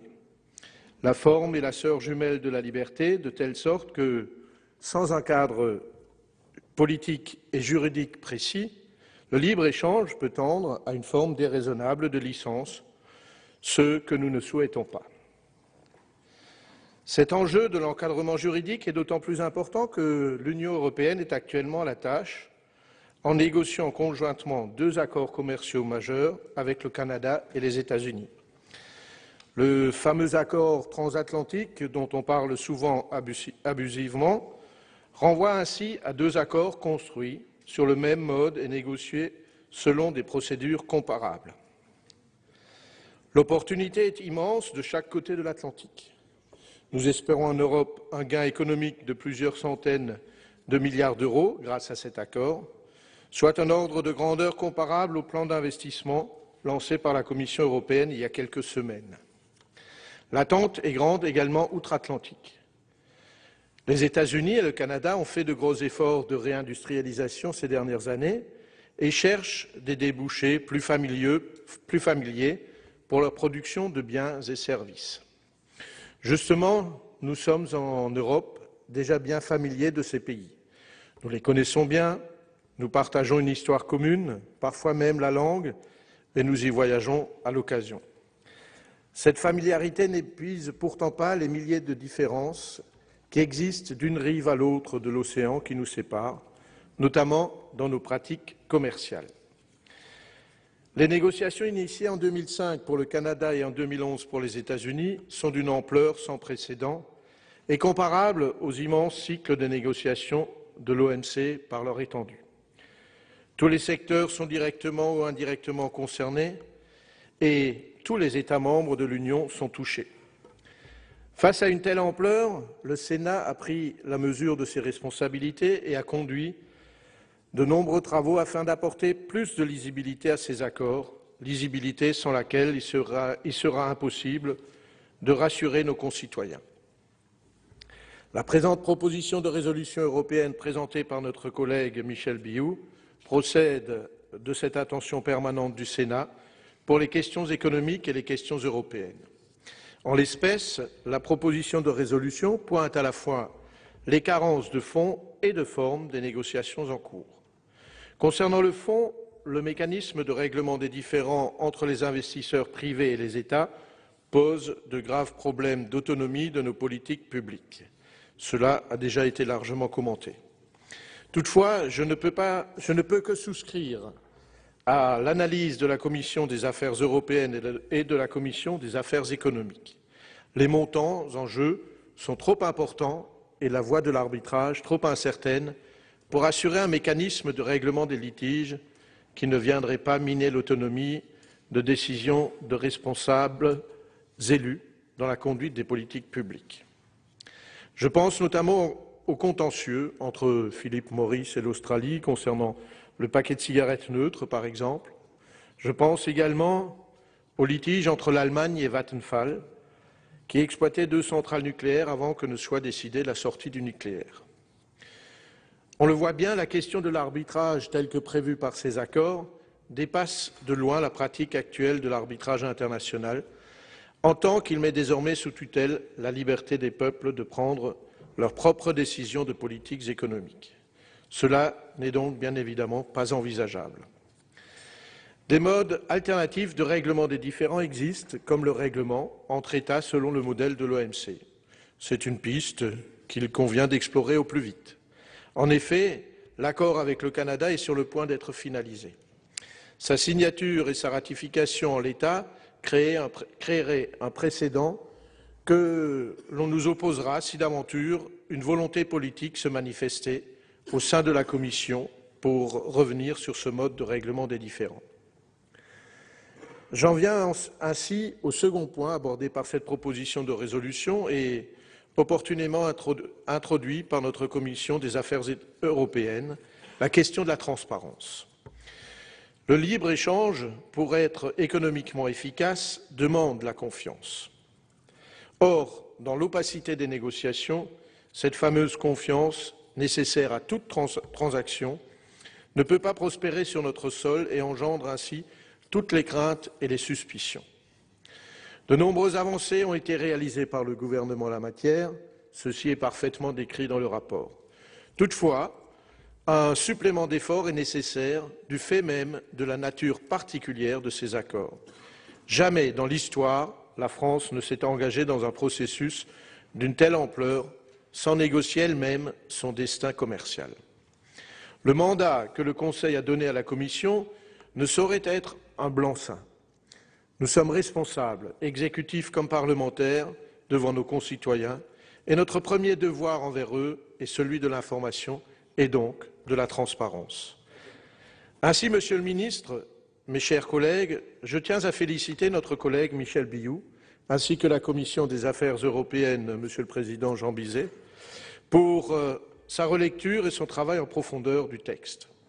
Je félicite également le président Jean-Claude Lenoir en sa qualité de rapporteur pour la Commission des affaires économiques. Ce double examen a permis d'aboutir à une proposition de résolution exigeante, très exigeante, mais équilibrée et justifiée au regard des zones d'ombre qui planent encore sur ces accords commerciaux pour nos concitoyens. C'est pourquoi le groupe UDI-UC, fidèle à ses convictions tant libérales qu'européennes, votera en faveur de cette proposition de résolution. Je vous remercie. Merci beaucoup, Monsieur Kern. La parole est à euh, Daniel Raoul pour le groupe socialiste. Monsieur Raoul, vous avez la parole.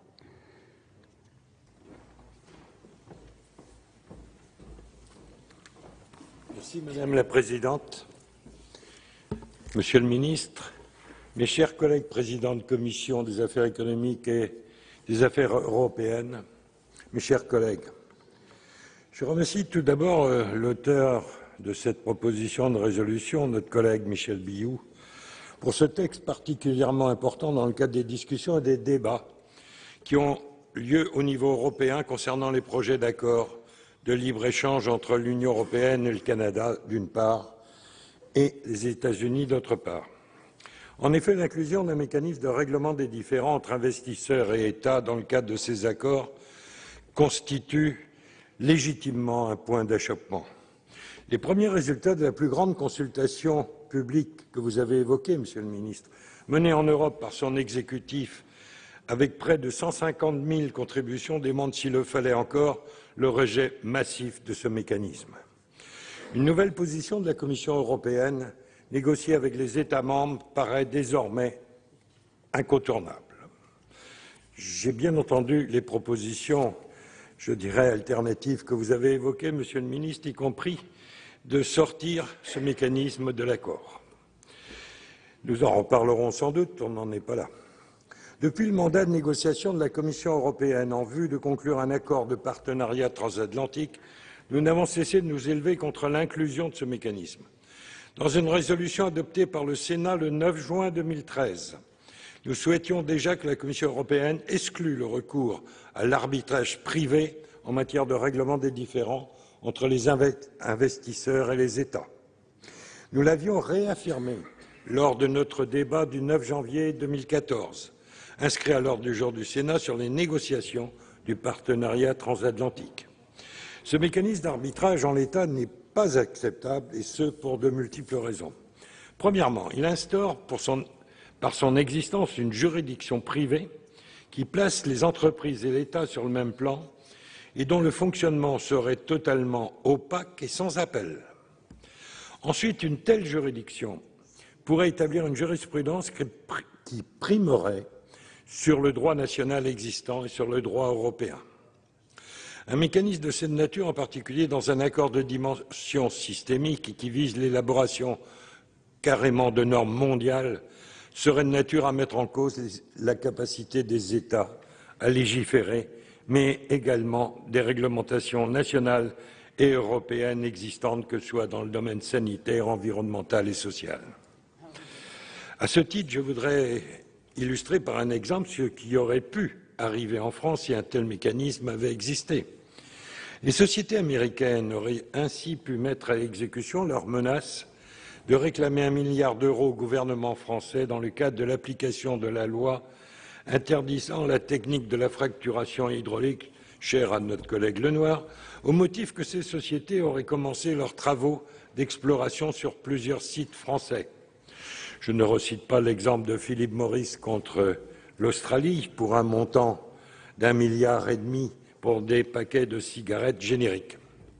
Même assortie de garanties telles que la mise en place d'un mécanisme d'appel ou la garantie absolue du droit des États à légiférer, souvent évoquée, nous restons réservés, et le mot est faible, à l'inclusion d'un tel mécanisme.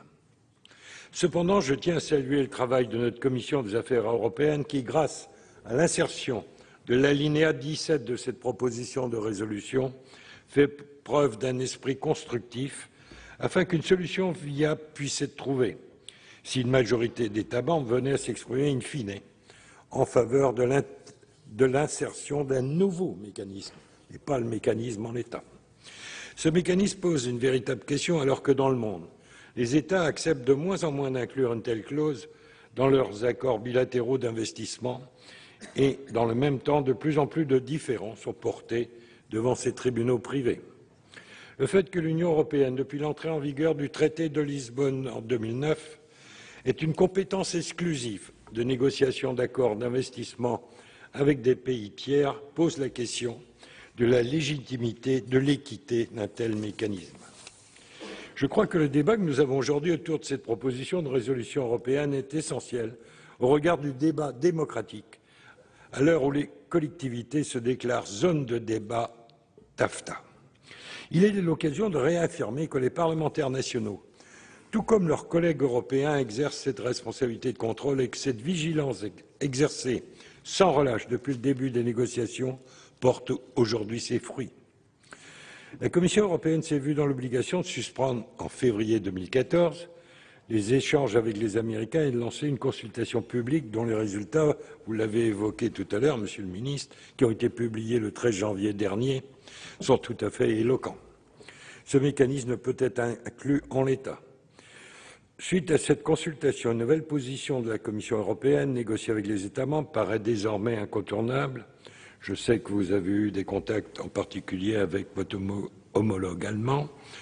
Nous verrons si vous arriverez à convaincre d'autres États membres, et en particulier les ex-pays de, l'Allemagne de l'Est, la partie Est de notre Europe, et les pays, autrement dit, qui étaient sous gouvernance plus ou moins russe à l'époque.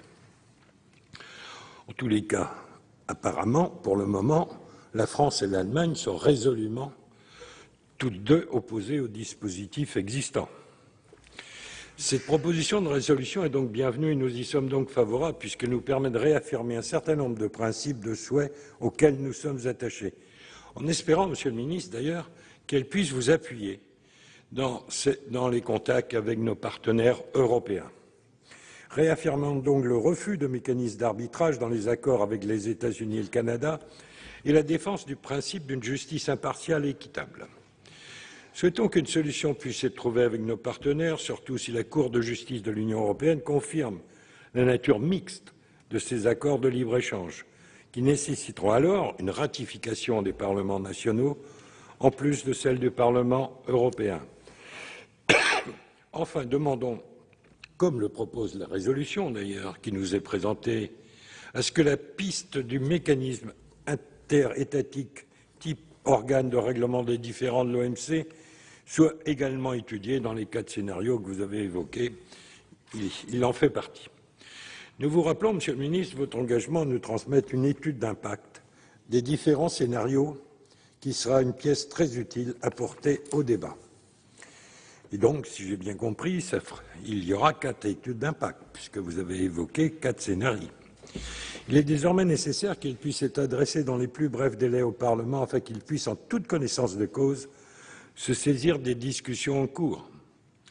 Pour finir, les négociations du TAFTA et la finalisation de l'accord CETA, ainsi que la stratégie européenne globale en matière d'accords commerciaux et d'investissement, doivent faire l'objet de la plus grande transparence possible. C'était le deuxième point fort de cette résolution.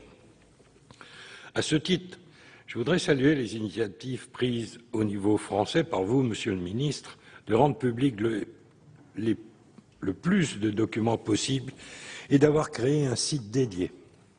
Nous espérons que les autres propositions faites lors du comité stratégique du 29 octobre dernier pourront être concrétisées rapidement.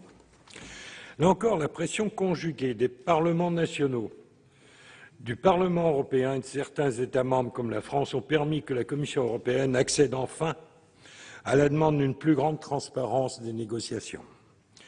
La communication adoptée par la Commission européenne le 25 novembre dernier, définissant de nouvelles règles sur l'accès des eurodéputés et du grand public aux documents du traité transatlantique, est un signe encourageant en la matière. Cela devrait grandement faciliter la volonté du gouvernement français de rendre ces négociations plus transparentes pour la représentation nationale. Nous espérons qu'en conséquence, l'ensemble des parlementaires nationaux pourront bénéficier des mêmes règles que leurs collègues eurodéputés. Nous saluons cet effort. C'est dans l'intérêt de la Commission européenne, qui a bien besoin aujourd'hui du soutien des parlementaires nationaux et européens, mais aussi des citoyens européens dans des négociations à l'heure actuelle mal comprises, qui par conséquent ont donné les résultats qu'on connaît sur la consultation auprès de 150 000 citoyens. Les annonces de la Commission indiquant la déclassification aujourd'hui d'un certain nombre de documents de négociation devraient contribuer à l'information de nos citoyens. Je voudrais simplement vous citer Alfred Sauvy, qui est un démographe français du XXe siècle. Bien informés, les hommes sont des citoyens, mal informés, ils deviennent des sujets. À l'heure où le huitième round de négociation du TTIP a repris ce lundi entre l'administration Obama et la Commission européenne, beaucoup de questions restent encore sans réponse, notamment en ce qui concerne l'accord avec le Canada. La France et l'Allemagne se sont décidées à demander conjointement la révision de cet accord sur son volet de règlement des différends. Mais la présidence lettonne, je l'évoquais tout à l'heure, comme ses, pays, comme ses voisins, refuse de rouvrir le débat sur l'arbitrage dans cet accord soulignant que les négociations avec le Canada se sont conclues en octobre 2013. Rappelons que le processus de ratification devrait débuter au premier semestre de cette année. Alors, qu'en est-il? La négociation pourra-t-elle reprendre avec le Canada sur ce point? Il serait difficilement lisible et cohérent qu'un dispositif soit retiré ou strictement encadré dans le, cadre de l'accord avec les États-Unis, que ce ne soit pas le cas dans le cadre de l'accord avec le Canada. Ceci étant dit, nous nous proposons bien sûr de voter cette résolution avec les réserves que nous avons évoquées. Merci beaucoup, Monsieur Raoul. La parole est à André Gatolin pour le groupe euh, écologiste.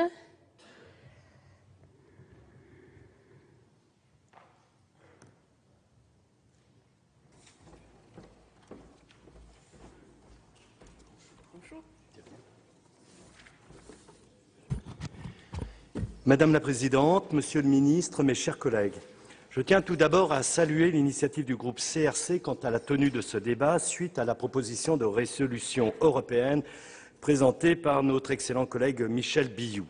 Ce n'est pas la première fois et sans doute pas la dernière que nous discutons ici des traités transatlantiques en cours.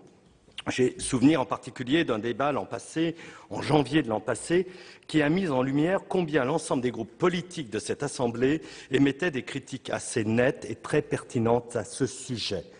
Le texte débattu aujourd'hui a le grand mérite de pointer deux des plus grandes lacunes de ces projets d'accord entre l'Union européenne et le Canada d'une part et avec les États-Unis d'autre part.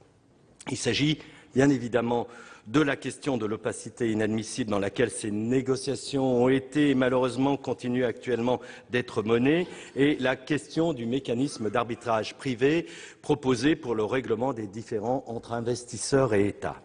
Mais avant d'y revenir plus en détail, je voudrais en préalable rappeler quelques fondamentaux de la réflexion écologiste qui permettent de mieux comprendre le fond de nos positions quant à ces deux traités. D'abord, en matière d'accords commerciaux, les écologistes sont très attachés au multilatéralisme par opposition à la multiplication actuelle d'accords bilatéraux qui entérinent, voire accentuent, des situations déséquilibrées entre partenaires selon des rapports de domination parfois forts entre les contractants. Cette situation est bien évidemment la conséquence des échecs successifs rencontrés par l'Organisation mondiale du commerce. Cette dernière a été fort critiquée, car elle était, à juste titre, parfois fort critiquable, mais elle avait au moins pour avantage d'instaurer des règles plus universelles et plus équilibrées, notamment à propos du règlement des différends. Deuxième point, les écologistes ne sont pas opposés par principe à de nouveaux accords renforçant les liens importants qui existent déjà entre l'Union européenne et l'Amérique du Nord. À un moment où nos diplomaties redoublent d'attention à l'égard de la Chine et que cette dernière réclame d'ailleurs à corps et à cri la ratification ou la mise en place d'un traité de libre-échange avec l'Union européenne, il n'est pas aberrant en soi de consolider nos relations avec les États-Unis et avec le Canada. L'Union européenne et l'Amérique du Nord représentent toujours aujourd'hui le plus important espace d'échanges commerciaux au monde. Et pour être plus explicite encore, les écologistes se refusent à tout jugement assimilable à une quelconque forme d'anti-américanisme, même si évidemment nous ne partageons pas toutes les valeurs qui guident les politiques conduites par les gouvernements états-uniens et canadiens successifs. Nous avons, avec ces deux pays, en commun, outre l'état de droit, et ce n'est pas rien, des pans entiers d'histoire commune et de profonds liens culturels. Troisième point important à rappeler ici, les écologistes, par leur culture et leur histoire politique, n'ont pas le dogme de l'État tout-puissant et de l'infaillibilité de ses décisions. Nous considérons légitime que des entreprises comme des citoyens, et surtout des citoyens, puissent attaquer l'État quand celle-ci s'estime lésée par certaines de ses décisions. Bien évidemment, nous ne sommes pas naïfs quant à la capacité croissante de certains groupes industriels transnationaux à engager des procédures juridiques tortueuses, abusant des failles laissées par les traités pour remettre en cause des choix souverains pris de façon démocratique par l'Union ou par un État membre. Voilà pour cette proposition de résolution euh, présentée par les sénateurs communistes. Nous y reviendrons plus largement dans notre journal à 19h. Mais tout de suite, preuve par trois, l'émission politique de la rédaction de Public Sénat en partenariat avec l'AFP et Dailymotion qui reçoit ce soir Jean-Vincent Placé, le président du groupe écologiste du Sénat. À tout à l'heure.